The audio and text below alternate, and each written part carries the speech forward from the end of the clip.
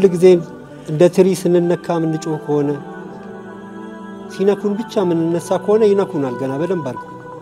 አልሐምዱሊላህ ሙስሊም ተማሪ ኒቃቢስቱም ሂጃቢስቱም ጅልባቢስቱም ከየትኛውም ሃይማኖት በላይ ትምህርት ቤቱ ላይ ንቁ ተሳትፎ አለው። ጎበዝ ተማሪ ነው። እና ደግሞ በአሁን ሰዓት እነሱ እየተማሩ ነው፣ እኛ ደግሞ ውጪ ነው ያለ ነው። ውጪ በመኖራችን ደግሞ በጣም ብዙ ነገር እኔ በፊት በጣም የዓላማ ተማሪ ነበርኩኝ።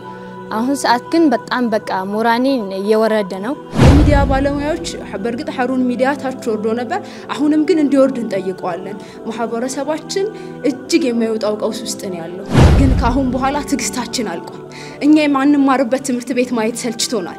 እኛ እንደ እሱ ብቻ አይደለም እኮ የምንነግራችሁ ትምህርት ቤት መምህራኖች እኮ አንቺ ልደፍኝ አትቺም፣ አንቺ ስልሳ ልታመጪ አትቺ የሚሉበት ትምህርት ቤት ውስጥ ነው እየተማረን ያለ ነው። አሁን ደግሞ በኒቃብ መጡ።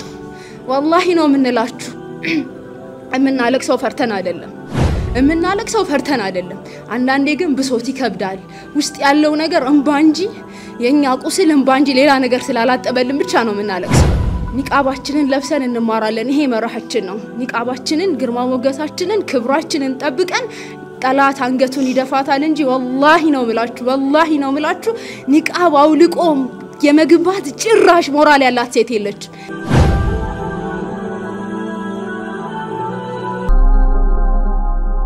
ላሂ ወበረካቱ ውድና የተከበራችሁ ኡስታዞች፣ ውድና የተከበራችሁ አባቶች፣ ውድና የተከበራችሁ የህግ ባለሙያዎች፣ ውድና የተከበራችሁ የሚዲያ አካላት፣ ውድና የተከበራችሁ ወንድሞች፣ እንዲሁም ደግሞ ውድና የተከበራችሁ እህቶች እንኳን ደህና መጣችሁ ለማለት እወዳለሁ በመጀመሪያ። በመቀጠል ፕሮግራማችንን በአላሁ ስብሓነሁ ወተዓላ ቃል በሆነው በቁርአን እንከፍታለን። ቁርአኑን የሚያቀርብልን ወንድማችን ሰዒድ ጀማል ይሆናል። ሰዒድ ጀማል ወደ መድረክ። أعوذ بالله من الشيطان الرجيم إلا تنصروه فقد نصره الله إذ أخرجه الذين كفروا ثاني اثنين ثاني اثنين إذ هما في الغار إذ يقول لصاحبه لا تحزن إذ يقول لصاحبه ይህ ወንድማችን ባለፈው ሀሩን ሚዲያ ባዘጋጀው የቁርአን ውድድር ላይ ሶስተኛ በመሆን ያጠናቀቀ ወንድማችን ነው። ወንድም ሰዒድ አላህ ስብሓነሁ ወተዓላ ይጨምርለት፣ ዱዓ ያድርጉለት። ከዚህ በላይም ብዙ ቦታ እንዲደርስ ማለት ነው።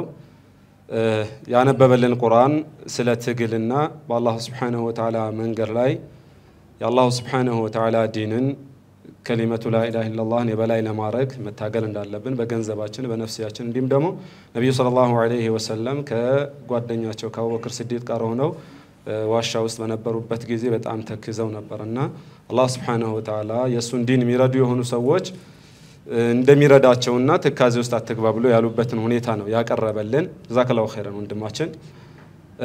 ይህ ፕሮግራም ያዘጋጀው በማንኝነት እዚህ እንትኑ ላይ እንደምትመለከቱት ሀሩን ሚዲያ ከኡሙ አይመን ጀማዎች ጋር በመተባበር በጉራጌ ዞን እኖር ወረዳ ላይ ያሉ ተማሪዎች ከሂጃብ ጋር በተገናኘ ከትምህርት ከ2014 ሰኔ 14 ጀምሮ እስካሁን ድረስ ከትምህርት ገበታ ተገለው ያሉት ከሂጃብ ከተሟላ ሂጃብ ጋር ወይም ከኒቃብ ጋር በተገናኘና ይህን በማስመልከት ነው ሀሩን ሚዲያ ያዘጋጀውና ከኡሙ አይመን ጀማ ጋር በመተባበር አላህ ሱብሓነሁ ወተዓላ ኸይር ጀዛችሁን ይክፈላቸው።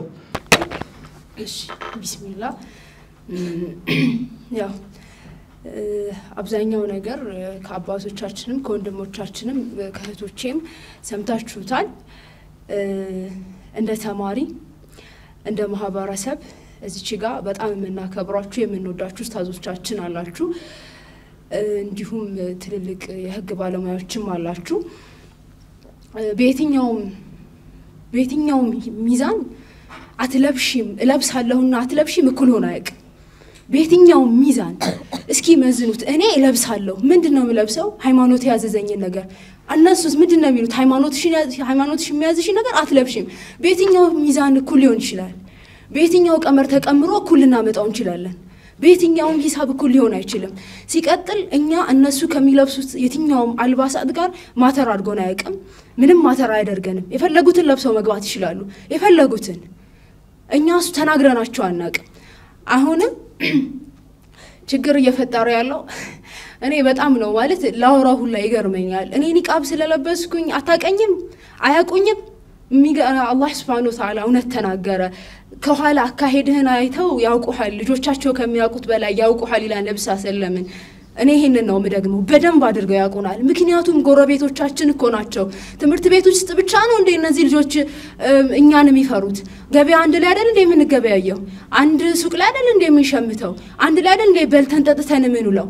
እና ትምህርት ቤት ብቻ ነው ሂጃብ እኔን እንዳያውቁኝ ኒቃብ እኔን እንዳያውቁኝ ያደረጋችሁ? በፍጹም ወላሂ ጥላቻ ምንም ነገር ሊያክም አይችልም። ጥላቻ ስር የሰደደበት ቦታ ላይ ነው ያለ ነው። የሚዲያ ባለሙያዎች በእርግጥ ሀሩን ሚዲያ ታች ወርዶ ነበር። አሁንም ግን እንዲወርድ እንጠይቀዋለን። ማህበረሰባችን እጅግ የማይወጣው ቀውስ ውስጥ ነው ያለው። ተማሪዎቻችን እጅግ የማይወጡት ቀውስ ውስጥ ነው ያለው። እኔ ወላጆቼ በሚከፍሉት ግብር እንደ አካባቢ ማህበረሰብ ሙስሊሙ ይበልጡን ቁጥር ይዛል አይደል? ሰባ አምስት percent ሰባ percent ይዛል። ሰባ percent በሚከፍለው ወላጅ በሚከፍለው ግብር የሚተዳደር ትምህርት ቤት ውስጥ ሙስሊም ተማሪ አትገባም ተብሎ የታገሰ ሙስሊም እንጂ ሌላን አይተናናቅም። የታገሰ ሙስሊም እንጂ ሌላን አይተናናቅም። ወጣቶቻችን ወላሂ ቅድም አባታችን ሲናገሩት እንደነበረው የያዟቸው ኡስታዞቻችን ናቸው።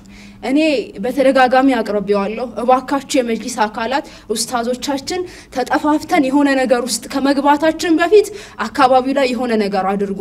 ትዕግስት ማብቂያ አለው። የምነግራችሁ ነገር ትዕግስት ማብቂያ አለው። ወላሂ ትዕግስታችን የተሟጠጠ ቀን የምናደርገውን ነገር እኔ ወላሂ ማንም አያስፈልገኝም። ዛሬ ዋ ሙዕተሲም ብዬ የምጠራው አካል አጥቻለሁ። ዋ ሙዕተሲም ብዬ አልጠራም። እኔ እኔ ከማንም አላንስም። ወላሂ ነው ምላችሁ። እዚህ ጋር ያላችሁ ሰዎች ምዬ የምነግራችሁ ነገር ለኒቃቤ ፈገግ እያልኩ እየሳቅኩ ደረቴን ሰጥቼ ይሞትለታለሁ። ሰሞኑን መጅሊስ የነበረው ነገር ማየት በቂ ነው። ስለማናከብራቸው አይደለም አባቶቻችንን የተዳፈር ናቸው። በጣም የምንወዳቸውን አባቶቻችንን ተዳፍረን ስንናገር ነበር። ንቅንቅ አንልም ብለን መንገድ ስናሳልፍ ነበር። ቀልድ ይመስላችኋል እንዴ? በረመዳን ቤተሰቦቻችንን መካደም ትተን እዚህ መተን የተንከራተት ነው። በኒቃብ ጉዳይ ልዩነት አይኖረን። ወላሂ ነው ምላችሁ ወንድሞቻችን፣ እዚህ ጋር ያላችሁ ትልልቅ አካላቶች እስካሁንም በእርግጥ ቆማችሁልናል። ወንድሞቻችን ጋሻችን ሆናችሁናል። ግን ካሁን በኋላ ትዕግስታችን አልቋል። እኛ የማንማርበት ትምህርት ቤት ማየት ሰልችቶናል። እኛ እሱ ብቻ አይደለም እኮ የምንነግራችሁ ትምህርት ቤት መምህራኖች እኮ አንቺ ልደፍኝ አትቺም፣ አንቺ ስልሳ ልታመጪ አትቺ የሚሉበት ትምህርት ቤት ውስጥ ነው እየተማረን ያለ ነው። እዚህ ቦታ ሳይሆን ሌላም ቦታ ላይ ልባችን ተሰብሯል፣ ልባችን ደምቷል። እንዴት ነው ማንማረው? እንዴት ነው ማንማረው? እንዴት ነው አለመማርን ከመማር ጋር እኩል ሊያደርጉብን የሚሞክሩት? በጅህልና ከመቀጣት በላይ ቅጣት የለም። በጅህልና ሊቀጡን ላሰቡ ሰዎች ግን ወላሂ ልቀን ትልቅ ቦታ ደርሰን እናሳያቸዋለን። ተስፋ አንቆርጥም። ምናልባት መጅሊስ አካላትም ላይ እዚህ ጋም እያለቀሱ ያሉቶች ሽንፈትን ፈርተው እንዳይመስላችሁ የሚያለቅሱት ብሶት ግን ያስለቅሳል። ብሶት ግን ደም ያስነባል። ወላሂ ብሶት ደም ያስነባል። እኛ ጋር ያለው ነገር ደም ያስነባል። እንዴ እኛ መቼ ነው በነፃነት ልንማር የምንችለው? ታላላቆቻችን በዚህ አይነት መከራ ውስጥ ነው የተማሩት አይደል? ታላላቆቻችን እኮ ሂጃባቸው ወልቆ ሰሌዳ እየተጸዳበት ነው የተማሩት። መማር ተከልክለው ተሳቀው ነው የተማሩት። የተማሩትም መግለጽ ከሚቻል መከራ በላይ ነው። 2004 ላይ ጅልባባችን ላይ መሳለቂያ ሆኗል። ጅልባባችን ላይ የፈለጉትን አድርገዋል። አልሐምዱሊላህ ድል ከኛ ጋር ሆኖ ጅልባብን አስከብረናል። አሁን ደግሞ በኒቃብ መጡ። ወላሂ ነው የምንላችሁ የምናለቅሰው ፈርተን አይደለም የምናለቅሰው ፈርተን አይደለም። አንዳንዴ ግን ብሶት ይከብዳል። ውስጥ ያለው ነገር እንባ እንጂ የእኛ ቁስል እንባ እንጂ ሌላ ነገር ስላላጠበልን ብቻ ነው የምናለቅሰው። እንባ እንጂ ሌላ ነገር አላጠበልንም። አቅቶናል። በቃ እንድታቁልን የምንፈልገው ነገር አቅቶናል። አሁንም የሚዲያ አካላት ድምፅ ሁኑን። እኛ ነስርን የምንጠይቀው ከአላህ ስብሐነ ወተዓላ ብቻ ነው። ነስርን የምንጠይቀው ከአላህ ስብሐነ ወተዓላ ብቻ ነው። ግን ሰበብ ሁኑን። ነገሮች ችግሮች ከተፈጠሩ በኋላ ልናስቆመው የማንችለው ነገር ከመፈጠሩ በፊት ሰበቦችን እንዳለ እናድርስ ብለን ነው እዚህ የመጣ ነው። ኢንሻአላህ ኢንሻአላህ መታ ነስሩላህ አንልም። ኢንሻአላህ በጣም ቅርብ ነው። የአላህ ነስር ቅርብ ነው፣ ከኛ ጋር ነው፣ ከታጋሾች ጋር ነው። ግን ውስጣችን ደምቷል፣ ውስጣችን ተበልቷል። ወላጆቻችንን ማየት አፍረናል፣ ወላሂ አፍረናል። እንዴት ነው የጎረቤት ልጅ ትምህርት ቤት ሄዳ ስትመጣ አጠገብ ያለችው ልጅ ስትቀመጥ ምን ያህል ያማል? በጣም እኮ ከባድ ፔን አለው። በተለይ ለወላጆች እኔ እንኳን አንዴ ኒቃቤን ክብሬን አስበልጬ ወጥቻለሁ። ግን ደግሞ ጎረቤት ያሉ ወላጆች ወላጆቻችን አይናቸውን ማየት አፍረናል፣ ፈርተናልም ጭምር እና ኢንሻአላህ ሰበብ እያደረሳችሁ ያላችሁን ሰዎች ሳላመሰግን አልቀርም። መጅሊስንም ያው ባለቀጠሮም ሄደን አስተናግዶናል። እሱንም ሳናመሰግን አንቀርም። ግን ደግሞ ከአባቶቻችን ብዙ ነገር እንጠብቃለን። መማር እንፈልጋለን። መማር እንፈልጋለን። በቃ እኛ ይሄን ብቻ ነው እያለን ያለ ነው። ስንማር ግን ክብራችንን፣ ሞገሳችንን ደርበን ነው የምንማር መማር የምንፈልገው። መማር ስለማንፈልግ አይደለም የወጣ ነው። ግን ያለ ኢስላም ህይወት የለም። ያለ ኢስላም የምንኖረው ህይወት ስለሌለን የወጣ ነው እንጂ መማር ስለማንፈልግ አይደለም።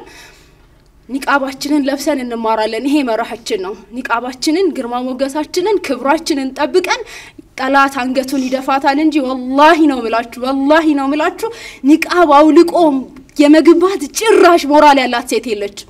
እሱ ወላሂ ነው ምላችሁ ከምንም በላይ ሞራል የሚገለው እሱ ነው። አታውልቂ ካለኝ ወንድ አጠገብ ቁጭ ብዬ አታውልቂ ካለችኝ ሴት አጠገብ ቁጭ ብዬ እኔ ኒቃቤን አውልቄ እንዴት መማር እችላለሁ? እንዴት ሞራሉ ሊመጣልኝ ይችላል? በምንም ተአምር እኮ ሞራሉ አይመጣም። ግን ደግሞ ኢንሻአላህ ኒቃቤን ለብሼ ከነ ሙሉ ግርማ ሞገሴ ሊያዋርዱኝ በሞከሩ ሰዎች ፊት አንገቴን ቀና አድርጌ የሚሄድበት ቀን ቅርብ እንደሆነ ተስፋ አደርጋለሁ። ኢንሻአላህ። ሰላም አለይኩም ሰላሙ አለይኩም ወረህመቱላሂ ወበረካቱ። ስሜ መርየም ሙሐመድ እባላለሁ። አስረኛ ክፍል ተማሪ ነኝ። ያው ብዙ ነገር ተብሏል፣ ግን እኔ እንደ አንድ መልእክት የትኛውም ህግ የትምህርት ቤትም የክልልም የፌዴራልም ሴት ልጅ እንዳትደፈር ሴት ልጅ ትንኮሳ እንዳይደርስባት ተብሎ የተጻፈ ነገር የለም። ሴት ልጅ ከተደፈረችም ማለትም ትምህርት ቤት ላይ በወንዶች ቅጣት እንዲህ ትንኮሳዎች እንዳትማርም ከተደረገች ይህን ያክል ይህን ያክል ተብሎ የተጻፈ ምንም አይነት ህግ የለም። ግን ቁርአን አውርዶልናል፣ ሂጃብ ሰጥቶናል፣ በሂጃብሽ ተሸፈኝ ተብለናል፣ አውቀነዋል ቀርተናል። الحمد لله መስጂዶች 24 ሰዓት ክፍቶች ናቸው። እንቀራለን፣ እንማራለን። ሂጃብ ለብሰናል፣ ተሰትረናል። الحمد لله so በዚህ አይነት ሁኔታ ሂጃብ ለብሰሽ አትገቢም እፈራሽ አለው ካለች እሷ ተገላልጣ የምትገባዋ ምን እንደሚባል መምህራኖች ለእኛ ሳይሆን ለእነሱ ነው ፈተና የሚሆኑት። እኔ የተሸፈንኩት ትኩረት አልስብም፣ እሷ ግን ጸጉሯ የለቀቀችው ትኩረት ትስባለች ማለት ነው እና የትኛውም ህግ የትምህርት ቤቱም ቢሆን እኛ ሂጃብ ስለለበስን ምንም የሚጎዳው ነገር የለም። ካጠፋን ሂጃብን ወይም ደግሞ ኒቃብን ተንተርሰን ከኮረጅን ወይም ደግሞ ከሰረቅን ካጠፋን እንደ ወንጀላችን ምጥን እንቀጣ። ግን እንዲህ ያጠፋነው ነገር የለም፣ በግልጽም በማስረጃም የላቸው እና አልሐምዱሊላህ ሙስሊም ተማሪ ኒቃቢስቱም ሂጃቢስቱም ጅልባቢስቱም ከየትኛውም ሃይማኖት በላይ ትምህርት ቤቱ ላይ ንቁ ተሳትፎ አለው። ጎበዝ ተማሪ ነው። ያም ቅናት ይመስለኛል እና ደረጃ የምንወጣው እኛ ነን፣ የምንቆጣጠረው እኛ ነን። በዛ በዛ ይመስለኛል እና እስልምና አክብሮናል። ለሴት ልጅ ትልቅ ቦታ ሰጥቶን በሂጃብ ተሰተሪ፣ በሂጃብ ተሸፋፍነሽ ተማሪ አለን። እኛም ደግሞ ዲኑን አውቀን ለብሰነዋል። الحمد لله። ስለዚህ የትኛውም ህግ ያላጸደቀው የትኛውም ፌዴራል የትኛውም የክልል ለእኛ ለሴት ልጅ ትምህርት ቤት ላይ ትንኮሳ ከደረሰባት ይህ ነገር ይህ ነገር ተብሎ ያልተጻፈልን መምህራኖች በወንዶች ተደፍረናል ወይም ደግሞ በወንዶች ጥቃት ደርሶብናል ብንላቸው even እነሱ ሊሳለቁ እንጂ ይሄ ይሄ ብለው መፍትሄ አይሰጡንም።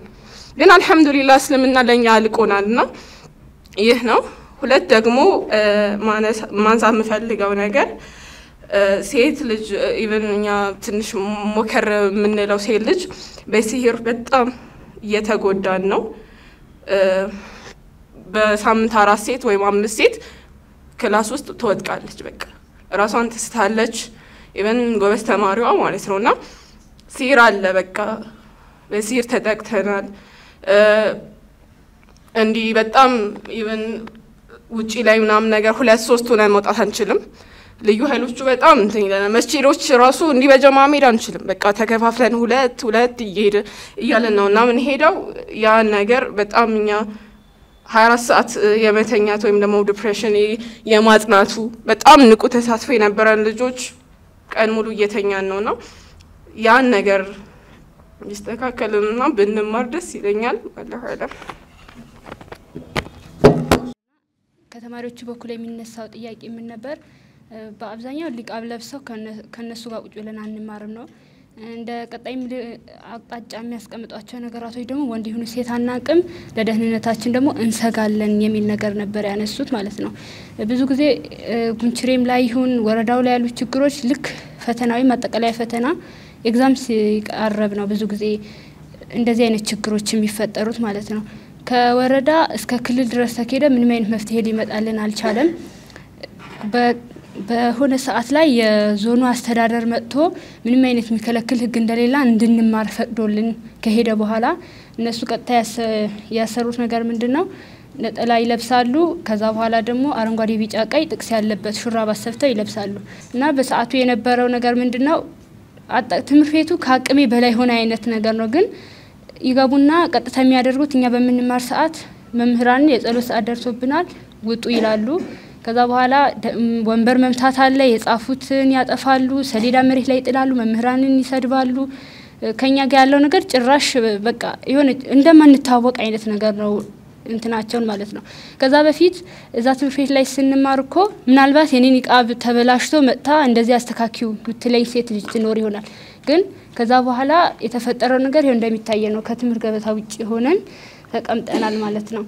ያለው ስሜት በሀቂቃ በአንድ በኩል የትግል ስሜት አለ። በአንድ በኩል ደግሞ ተማሪ ኃይለኛ depression ውስጥ ገብቷል። የማይወጣበት depression ውስጥ ምክንያቱም እኛ ለሆነ ነገር ከቤት ከወጣን እነዛ ተማሪዎች ዩኒፎርም ለብሰው ሲመለሱ እናያለን።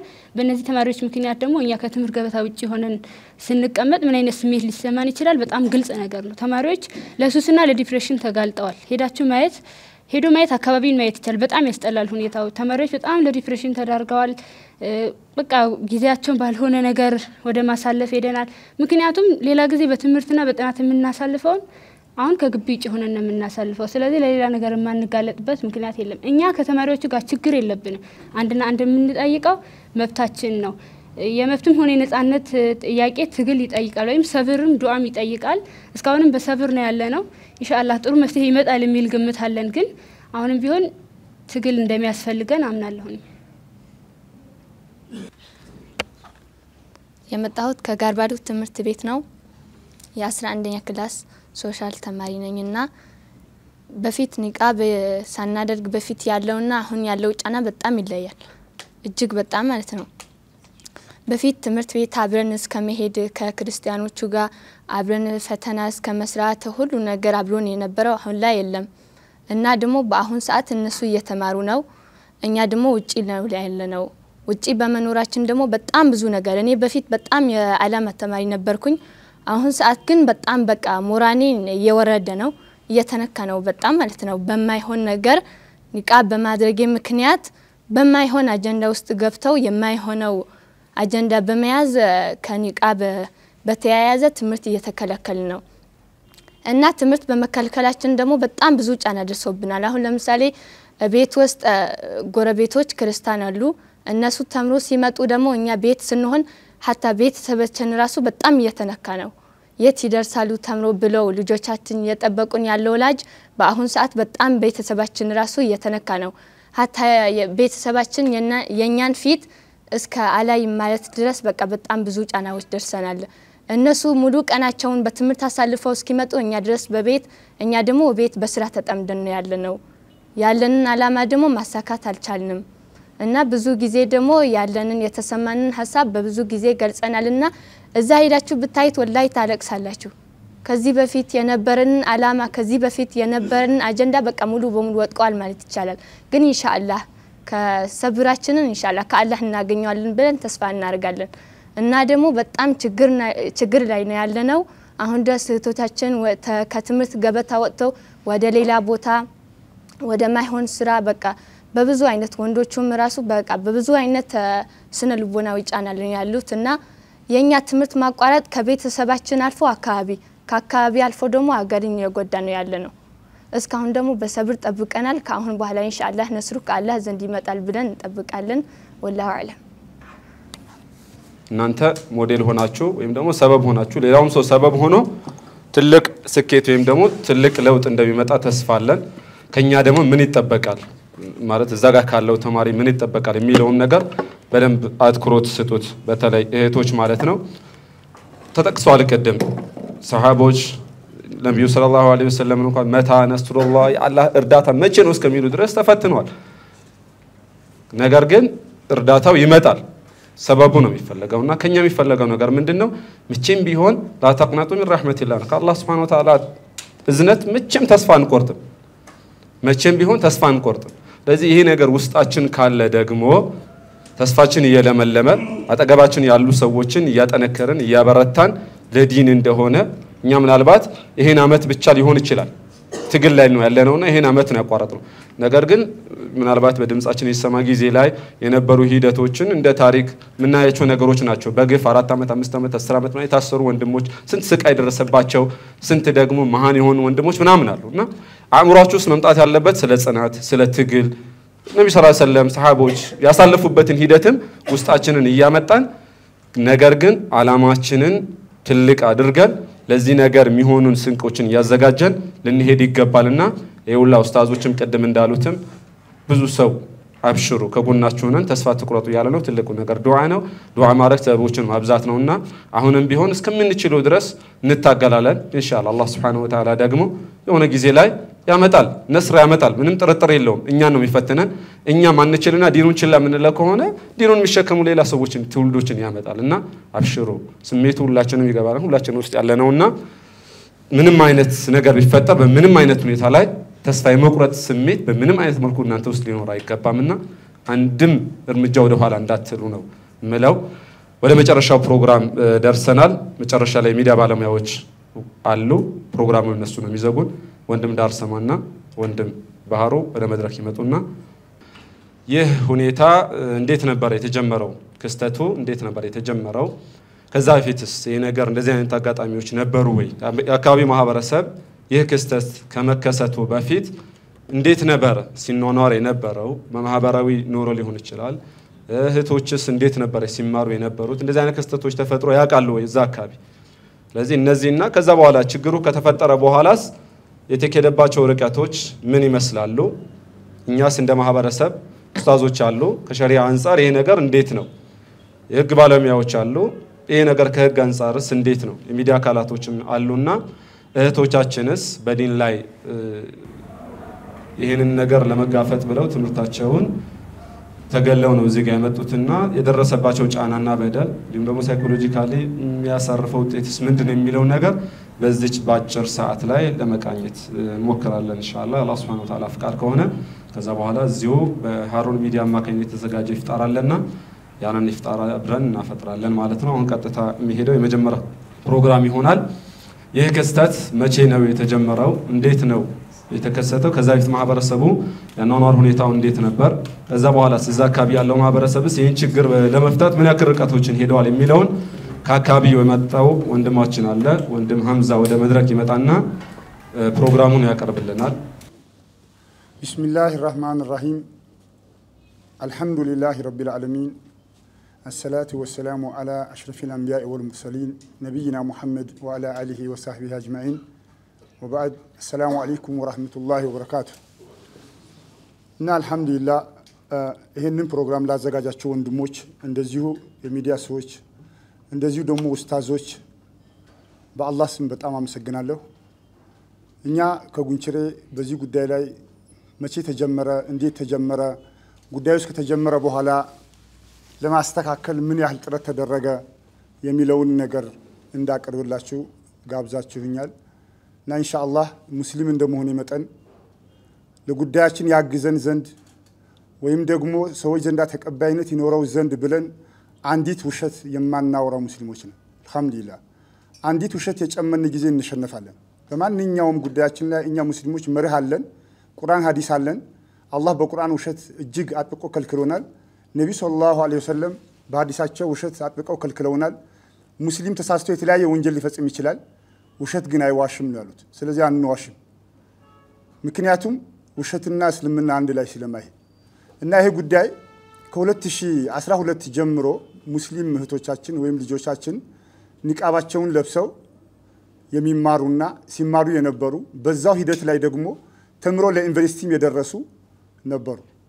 ነገር ግን ከ2014 ዓመት አጋማሽ በኋላ ጀምሮ ማህበረ ቅዱሳን ወይም የኦርቶዶክስ እምነት ተከታዮች በጉንችሬ አንደኛ ደረጃ ትምህርት ቤት ላይ ኒቃብ ከተለበሰ እኛም ነጠላ እንለብሳለን የሚል ነገር የበፊት ከዛ በፊት የነበሩ ጥላቻዎች ከዛ በፊት የነበሩት ብዙዎቹን መናገር ጊዜም ስለማይኖረኝ ነው። ቀንጨብ አድርጌ አጭሩን ነው ማቀርብላችሁ። የቅርብ ጊዜው ብቻ ነጠላ ለብሰን እንማራለን አሉ። ነጠላ ለብሰው መጡ። ነጠላ ለብሰው ሲመጡ ሙስሊሙ እንዲረብሽ ነበር የተፈለገው። እኛ ደግሞ ዓላማችን መረበሽ ስላልሆነ ዓላማችን መማር ብቻ ስለሆነ የፈለጉ ነገር ይልበሱ ይማሩ የሚለውን ነገር በመንሹራ ከኡስታዞቻችን ጋር ተነጋግረን ተስማምተን የፈለጉትን ይልበሱ ይማሩ የሚለውን ወሰድን። ነገር ግን ዝም ስንል ደግሞ ዝምታችን ደግሞ ስላስጠላባቸው ወይም ደግሞ ስላልተመቻቸው መልሰው የተለያየ መረባበሽ ነገር ሲጀምሩ የከተማው አስተዳደር የከተማው ነዋሪ ሁሉንም ጠራ፣ አወያየን። ካወያየ በኋላ ሙስሊም ሴቶች ከኒቃባቸው ጋር እንዲማሩ የሚል ነገር ወሰነ። ትምህርቱ ተጀመረ። ከተጀመረ በኋላ እነሱ ረብሻ ጀመሩ። የተለያየ ረብሻ ጀመሩ፣ ሁከት ጀመሩ።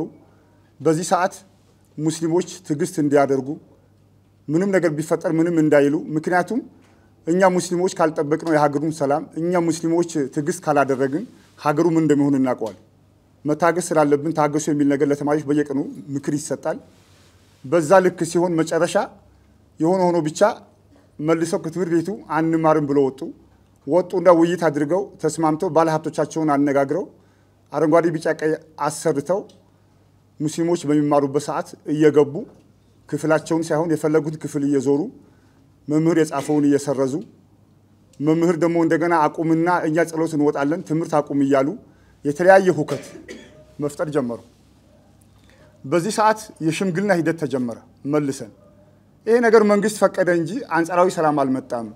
አንጻራዊ ሰላም ስላልመጣ በሽምግልና ሂደት ይፈታ። ጉራጌ እንደ ባህልም በባህልም ይነጋገራል። ስለዚህ በዚህ ልክ እንየው የሚል ነገር ተጀመረ እና ብዙ ሂደቶች ተሄዱ። በዛ መካከል ግን የተለያዩ ጥፋቶችም በግለሰቦች ቤት እሳት የማስቀመጥ የማቃጠል ሙከራም በሙስሊሞቹ ላይ ማድረግ ተጀመረ።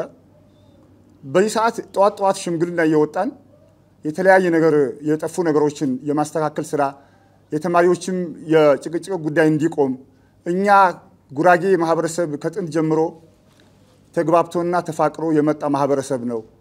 በተማሪዎች በቀላል ነገር እያሉ እነሱ ጨርቅ ያሉ ነው የሚጠሩት፣ ለእኛ ግን የህይወት ያህል ነው። በትንሽ ጨርቅ ጉዳይ አንጣላ፣ ይሄ ሊያጣላን አይገባም የሚል ነገር ነው የሚሉት።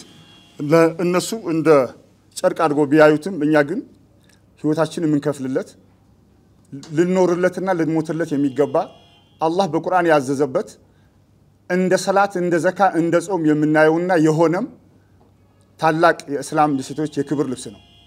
ስለዚህ በዚህ ጨርቅ የመጣ አንጣላ፣ ስለዚህ ይሄ ነገር ጥሩ አይደለም የሚል ነገር ከነሱ በኩል መጣና እኛም በማንኛውም በኩል ይምጣ ሰላም እንፈልጋለን ብለን ንግግር ጀመርን። በዚህ ውይይት ላይ ያለን ግን ተማሪዎቻቸው አላስቆሙ። ሰው ሽምግልና ከጀመረ በኋላ ረብሻ መቆም አለበት፣ ሁከቱ መቆም አለበት። አስቆሞ ነው መነጋገር ያለብን። ያም ሆኖ ሽማግሌ በዚህ በኩል ይሰበሰባል፣ ተማሪዎቹ በዛ በኩል ይረብሻሉ። ይሄ በሆነበት በማታ አንድ ቀን ትምህርት ቤቱ ላይ ፕላዝማ ተሰረቀ። የተማሪዎች ፕላዝማ ሰብረው ገብተው ተወሰደ። ይሄም እንደገና በባህል ጠዋት ጠዋት መሀል ላይ እየተደረገ እንዲፈለግ ተብሎ ተጀመረ። ይሄንንም ሳንጨርስ የትምህርት ቤቱ ኮምፒውተር ክፍል ትላልቅ ሰነዶች ያሉበት ሌሊት በቤንዚል አቃጠሉት። ይሄም ከተቃጠለ በኋላ አሁንም በሽምግልና ሂደት እየፈለግን እያለን እየሄድን እያለን አንድ ቀን ስድስት ሰባት ቀጠሮ ያህል ከተሰበሰብን በኋላ ከነሱ መካከል የሽማግሌ አንድ ተወካይ የሆነውን አሁን ወደ ሽምግልና ገብተናል፣ ወደ ባህል ገብተናል። ወደ ባህል ከገባን በኋላ ደግሞ የጠፉ ነገሮች ሁሉ በባህል ይወጣሉ። ባህልና ሕግ ደግሞ አንድ ላይ ስለመሄድ በባህል ጥፋቱን አምኖ የመጣ በሕግ አይጠየቅም የሚለው ነገር ተወስዶ ስለነበረ የትምህርት ቤቱ ቃጠሎ እኛ ወስደናል አሉ። የእኛ ልጆች ናቸው። ስለዚህ በእኛ በኩል የተፈጸመ ነገር ነው። ሌሎች ጥፋቶች እንፈልግ እሱ ወስደናል ብለው አመኑ። ይሄ ጥሩ ነገር ነው ብለን እኛም ተቀበልን እና አልሐምዱሊላ በዚህ ሂደት ላይ ያለን እኔ አሁን ትንሽ ግር ያለኝ ከሰሞኑ የሆነ ሚዲያ ላይ የሆነ በጣም የታዘብኩት ነገር ስላለ ትምህርት ቤት እኛ እንዳቃጠልን ሙስሊሞች ከትምህርት ቤት ተገለው ሲያበቁ ከትምህርት ገበታ ተባረው ሲያበቁ ግቢ ተዘግቶባቸው ወደ ቤታቸው ቁጭ ብለው ሲያበቁ ሙስሊሞች ከካፊር ጋር አንቀመጥም ብለዋል። ትሸታላችሁ ተብለናል። መስጊድ ካልገባችሁ እንገላችኋን ብለውናል። የውሸት ብዙ ሚዲያዎች ስላየሁ ይህንን የማወራው ቃጥሎ ራሳቸው በወሰዱበት ትምህርት ቤት ሙስሊም እንዳቃጠለው አድርገው ያቀረቡት ቪዲዮ ስላየሁ ምላሽም ጭምር እንዲሆን ነው። ስለዚህ እኛ አላህን የምንፈራ ህዝቦች ነን። እኛ ለዚህ ኒቃብ ብለን ብዙ ነገር ብዙ ነገር አሳልፈናል። እነሱ ባደረጉት ልክ፣ እነሱ ባጠፉት ልክ፣ እነሱ በሚሄዱበት ልክ ሙስሊሙ ቢሄድ ኖሮ ጉራጌ ምድር የሚባል ነገር እስካሁን ድረስ አይኖርም፣ ይጠፋ ነበር፣ ያልቅ ነበር። ስለዚህ በዚህ ልክ ሽምግልናውን እያስኬድን እያለን ሽማግሌዎችም የክርስቲያን ሽማግሌዎች ናቸው አብዛኞቹ በዋናነት ሰብሳቢ ሆነው የሚቀመጡት። በዚህ ሂደት ላይ ያለን ጨርሰን መጥተን ልናጠቃልል ስንል መጨረሻ በመንግስት በኩል የኒቃብ ጉዳይ የሌላ ማለባበስ ጉዳይ መንግስት ይወስዳል። ሽምግልና ከአሁን በላይ አያስፈልግም ብሎ መንግስት መጥቶ ጣልቃ ሲገባ እውነት እነዚህ ክርስቲያኖች ሰላሙን ፈልገው ቢሆን ኖሮ ሙስሊምና ክርስቲያን አብሮ እንዲኖር አብሮ ማህበራዊ ኑሮ እንዲያስቀጥል ትላንት የመጣበትን ጥሩ እሴት እንዲኖር ፈልገው ቢሆን ኖሮ አሉ የሚባሉ የጉራጌ የባህል አስጨራሽ ሽማግሌዎች እዛ ላይ አሉ። መንግስት መጥቶ ጣልቃ ሲገባ ግን በአንዴ አዎ ይሄማ ልክ ነው አሉ። የኒቃብ ጉዳይ መንግስት ነው፣ እኛ ሰላማችን ማምጣት ነው ያለብን አሉ። ይሄ በፍጹም የማይሆን ነገር ነው። ስለዚህ እውነት ሽምግልና ፈልጎ ቢሆን ኖሮ እንዴ ለምን ይሄ ታደርጉናላችሁ? በመንግስት በኩል እኮ የመጣው ውሳኔ ሰላም አላመጣም። እኛ ደግሞ ዘላቂ ሰላም ለማምጣት የጀመርነው ሽምግልና ነው። እባካችሁ ታገሱን የሚል ሽማግሌ ግን አንድ አላገኘንም። በአንድ ራስ ሁለት ምላስ በቅሎ ወዲያውኑ ይሄ መንግስት ጉዳይ ነው አሉ፣ ታጠፉ። ከዛ በኋላ እኛም አቅም የለንም። እኛ ሙስሊሞች ከትምህርት ገበታ ወጥተናል። ሴቶቻችን እንዳለ ከትምህርት ተባረዋል። ተርሆኘ ትምህርት ቤት ተባረዋል። ጋርባዶ ተባረዋል። እገዜ ተባረዋል። ጉንችሬ ተባረዋል። በዋናነት ግን ጉንችሬ ነው ቁጥር አንድ ተደርጎ የተያዘው። ለምን ጉንችሬ የወረዳው ዋና ከተማም ጭምር ስለሆነ ጉንችሬ ላይ ልክ ካስገባን፣ ጉንችሬ ላይ ካሸነፍን፣ ጉንችሬ ላይ ጭቆናው በደንብ አድርገን ካጠናከርን ሌላ ጋ ያለው ቀላል ነው ተብሎ እየተሰራ ያለው ጉንችሬ ላይ ነው እና ይህ ሁሉ ሲደረግ እነዚህ ተማሪዎች አሁን ለምሳሌ መንግስት ነው የከለከላቸው እኛ አይደለንም እንደዚህ ምናምን የተለያየ ነገር ይላሉ። መንግስት ከሆነማ ተማሪዎቹ አረንጓዴ፣ ቢጫ፣ ቀይ ሲለብሱ ነጠላ ሲለብሱ ከቤታቸው ለብሶ አይመጡ። በጣም የሚያሳዝነው ጠዋት ከቤት ዩኒፎርም ለብሶ ይመጣሉ። ዩኒፎርማቸው ቤተ ክርስቲያን ውስጥ ያወልቃሉ። የሃይማኖት ልብሳቸው ከዛ ለብሶ ይመጣሉ። ከትምህርት ቤት ሲወጡ ቀጥታ ቤተ ክርስቲያን ይገባሉ። ነጠላቸውና አረንጓዴ ቢጫውን ያስቀምጣሉ። ዩኒፎርም ለብሶ ቤት ይሄዳሉ። በዚህ ልክ ነበር እየተሰራብን ያለው።